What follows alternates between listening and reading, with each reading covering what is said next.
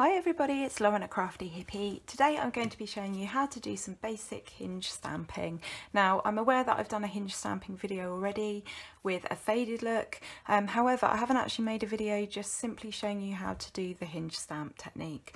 So um, without further ado, using the Stamparatus and um, three colours, I'm going to create a lovely background for a card. So I'm using the watercolour word stamp set and um, I've taken the word hooray, the sentiment hooray out of that because I think that's really lovely. And um, I'm going to um, start. So you basically ink up your stamp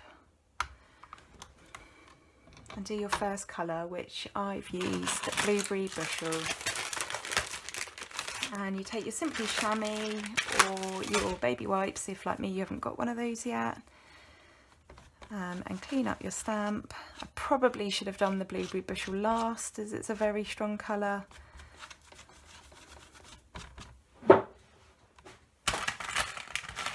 Simply clean up your stamp and get it ready to ink again.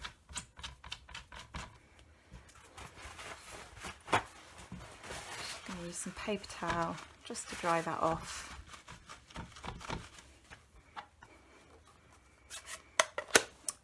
And you simply move the um, the arm down one step and then ink up in another colour.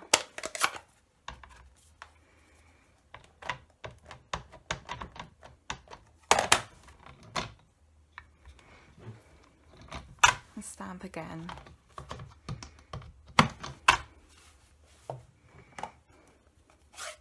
This is quite a big stamp. That's actually bigger than the um, hinge itself. So I have got um, the H and the Y overlapping, um, but that doesn't matter. Um, the H and the Y, it, you know, it doesn't they're not bothering each other. Um, if obviously if you don't like the fact that there's overlap, then um, go for a stamp that's just a tiny bit less wide, um, and you will have a bit of a gap between each one. But um, I really like this look.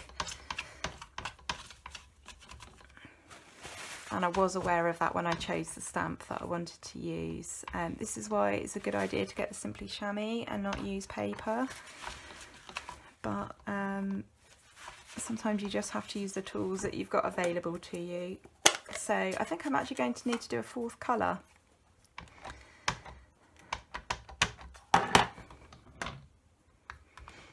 So that was the lovely lipstick.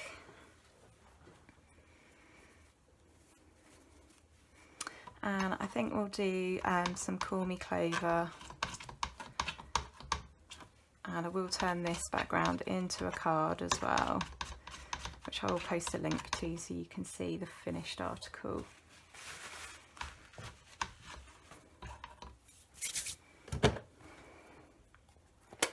And obviously don't forget to move the Stamparatus down to the next part of the hinge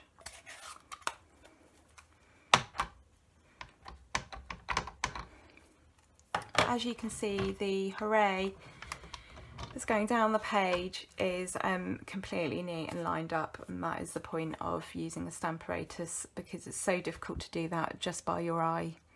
So that is the hinge technique. It's really simple um, and creates a really lovely uniform look. Thanks for watching. Goodbye.